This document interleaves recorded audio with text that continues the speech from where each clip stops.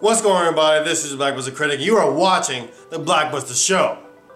Today's video is about something Microsoft said. And to see what I'm talking about, link is down there in the description. Go ahead and take a look at what Aaron Greenberg said on Twitter.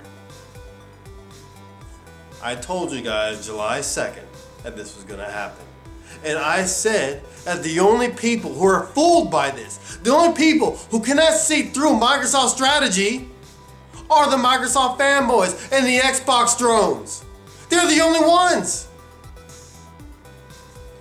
July 2nd, I put up on Facebook that these low numbers that are available at GameStop for Xbox One pre-orders are supposed to be low.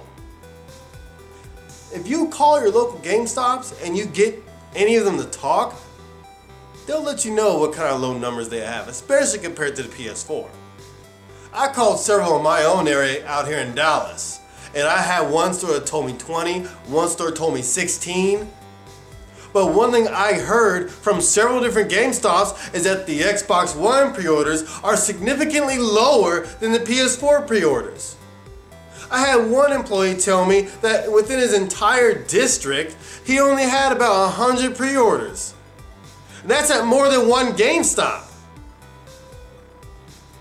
We all knew Microsoft's real reason for only allowing such a limited amount of pre-orders.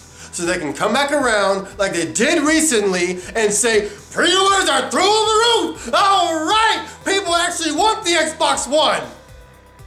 And the only people who are fooled by this stupid strategy, like I said before, are the Xbox drones and the Microsoft fanboys. Like the one I had at work, the one who was gloating about going to GameStop and hearing about how they had no available Xbox One pre-orders, but it was offered a PS4 instead.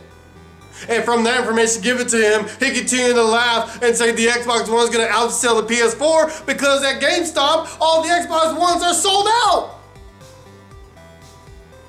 And he started telling other people, you better get an Xbox One. You better hurry up and pre-order yours before it's too late.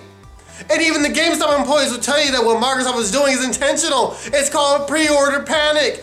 When something gets sold out, people get in their minds that, oh man, people actually want this. I better get one too. I better hurry up. I gotta pre-order. I gotta put my order right now. That's their whole strategy. And now Aaron Greenberg comes out and says, the pre-orders are through the roof. It's all sold out at GameStop. Guys, we all know that Microsoft's strategy is pretty transparent. But the main thing we need to focus on is why other people can't see it. Why is it those of us who have common sense and a brain can look at that and say, yeah, that's just a that's just a marketing strategy. And it's obvious.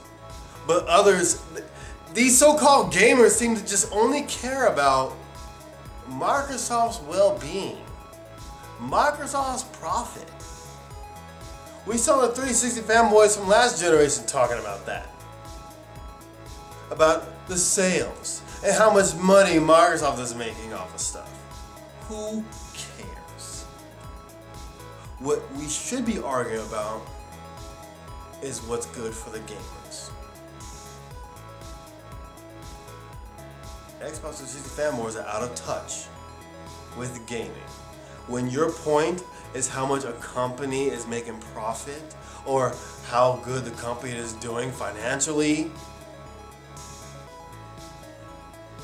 rather than what games you have, what features you have, and all this other stuff, you've lost. You've lost. And I'm just gonna let you guys know right now, the Xbox One will never outsell the PS4. PS4 has already had the consensus of the world that it is a good console. Xbox One has not. And for the, all the fake Xbox One protesters, I'll have another video for you pretty soon because I want to talk to you guys real quick as well. Anyway, guys, just check out Angry Bird's tweet down below. It's just pathetic. Microsoft's marketing strategies transparent and obvious. And it definitely does weed out the gamers from the fanboys. I'll see you all later. You have a good day.